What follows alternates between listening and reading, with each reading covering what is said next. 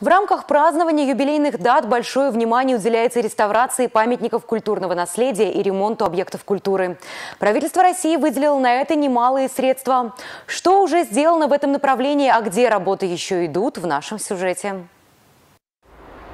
В столице республики культурный строительный бум. Капитальной реконструкции подвергается здание филармонии. Не приспособленные под музыкальные потребности помещения меняют вид, переоснащаются. В театре кукол внутренняя перестройка. Отремонтировали малый зал, сейчас занимаются фойе. Если судить по эскизам, маленьких зрителей ждет сюрприз. Интерьер в корне изменится. Обновлен фасад музея имени Василия Чапаева. Полностью перебран деревянный дом, где родился знаменитый полководец. В основном помещении идет капитальный ремонт. В двух театрах столицы в Чувашском академическом и русском драматическом тоже перемены. В первом привели в порядок коридоры гримерные артистов, работы еще продолжаются. А во втором наладили работу инженерных сетей, отремонтировали вестибюль, купили в зал новые кресла. Масштабной реконструкции подвергся старинный особняк по улице Константина Иванова. Здесь располагается филиал художественного музея с его особой раритетной экспозицией. Заново отштукатурят стены, восстанавливают паркет, лепнину на потолке, изразцовые печи, чугунные перила. На днях открыл свои двери двери краеведческий музей в Мариинском посаде. Бывший купеческий дом не узнать. Реставраторы вернули зданию прежний облик, восстановили большое количество предметов культуры и быта. А в Ибресях отремонтировали Народный музей под открытым небом.